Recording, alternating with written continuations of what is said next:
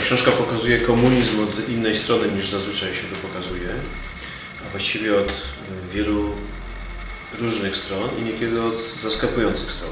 Więc y, mamy tu podejście psychologiczne, mamy podejście od strony recepcji w sztuce, w literaturze i wiele, wiele innych. Ale tym, co nas naprawdę interesuje w tej książce, to jest y, aspekt ideologiczny. To jest pytanie o to, czy komunizm był, czy też nie był sobą dzięki temu, że był ufundowany na marksistowskiej ideologii.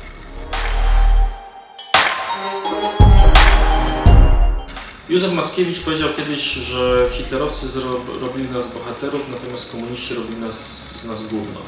E, w tym bardzo prostym, acz brutalnym stwierdzeniu wyraził tak na dobrą sprawę istotę problemu podkreślając, że w komunizm nie był tylko i wyłącznie systemem zniewolenia zewnętrz, zewnętrznego, ale również działał demoralizująco i rozkładująco na wspólnoty, na te wszystkie poszczególne struktury społeczne, w których, w, w których oddziaływał. I tak na dobrą sprawę nie da się porównywać e, systemu sowieckiego z czymś, z czymkolwiek, e, z, z tym, co było wcześniej. Jedyne analogie, jeśli możemy szukać, to jest okres rewolucji francuskiej i terroru rewolucyjnego. Dlaczego komunizm był wyjątkowy i niejako wykraczał poza ramy polityczności? Ano dlatego, że dawał wizję. Dawał wizję szczęścia, dawał wizję zbawienia, tylko nigdy nie mówił o kosztach, a te koszty były oczywiście, jak dobrze wiemy, wielkie.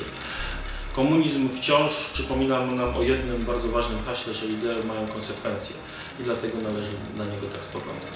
Jeśli jesteście ciekawi y, argumentów doktora Macieja Zakrzewskiego, który widzi komunizm jako ideokrację, albo jeśli jesteście ciekawi argumentów doktora Wojciecha Frazika, który widzi komunizm jako element ciągu ustrojów dyktatorskich i totalitarnych, przyjdźcie na naszą dyskusję 18 czerwca o godzinie 18 do Biblioteki Przyrajskiej. Zapraszam.